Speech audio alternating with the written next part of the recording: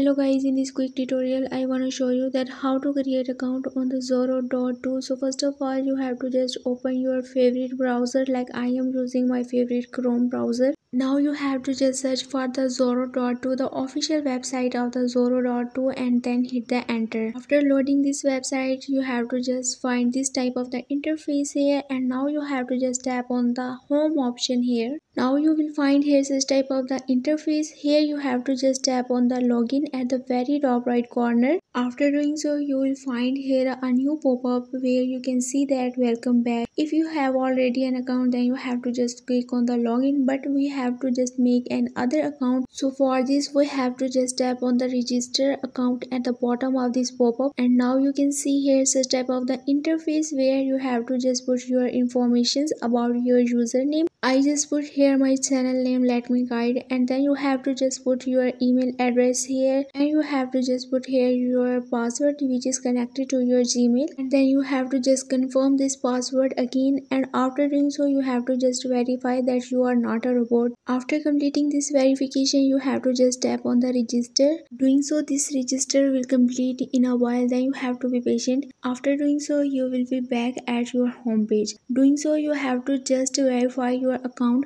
For the verification of your account, you will receive an email from the Zoro.to team. So for completing your verification of your account, you have to just check your email. And you can see that I have received an email from the Zoro team. First of all, I have to just open it and then click on this link here. While doing so, automatically a new tab will be open for you and here you can see that your account has been verified. And congratulations, your account has been created. So I hope you all enjoyed video. For more information you can visit my website whose link i have shared in this video's description. Leave a like and a comment for this video and also subscribe my channel. Let me guide. Thanks for watching